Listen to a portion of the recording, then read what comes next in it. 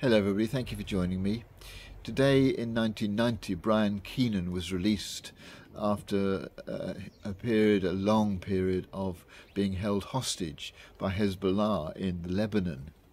Uh, a, a, a, a, little while after he had started the ordeal, uh, he was joined um, by John McCarthy, and the pair of them spent many, many weeks and months together um, chained um, to radiators um, in very small, cramped conditions, um, wrapped up in, in sacks to be taken from one location to another, um, sharing this experience.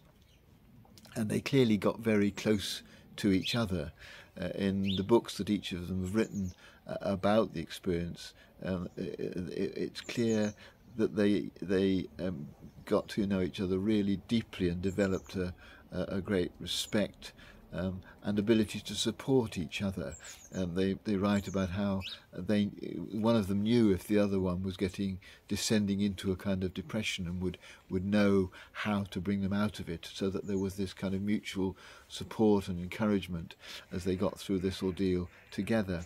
And yet they were completely different kinds of people. Keenan from uh, growing up in East Belfast. Um, John McCarthy going to a British public school. Uh, and indeed, when they first met af after a while, um, uh, uh, McCarthy uh, reports that he, he said to Brian Keenan, please will you stop talking like Gerry Adams? To which Keenan replied to him, well, please will you stop talking like Prince Charles? They, they, were, they were so very different. Uh, and yet they were able to support uh, and uh, and in, and encourage each other. I, I, I want to celebrate today uh, the way in which um, we can get enormous value and strength and interest in life from people who are very different from us. Uh, and I want to support it partly because of something Brian Keenan said about, about what John McCarthy did for him.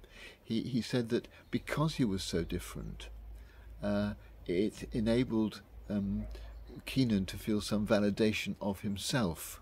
He said if we'd both been the same, um, I wouldn't have been able to uh, maintain that sense of my own identity over against someone else. But because we were very different, it gave me a sense of who I was and a sense of who we was as being different, and therefore gave me uh, enabled me to hold on to my who I, to who I am, as it were, who he was, even uh, in the br brutalizing conditions of, of his captivity. And so I think it's worth celebrating other people who are different from us and uh, consciously trying to uh, encourage uh, a, a, relationship with people like that because it does, because, by their very difference, enable us to come to a clearer idea of who we are in contrast and helps us to uh, find our own identity more clearly. And so today, celebrating difference between people and what we can uh, learn from it is, is my thought uh, and my celebration.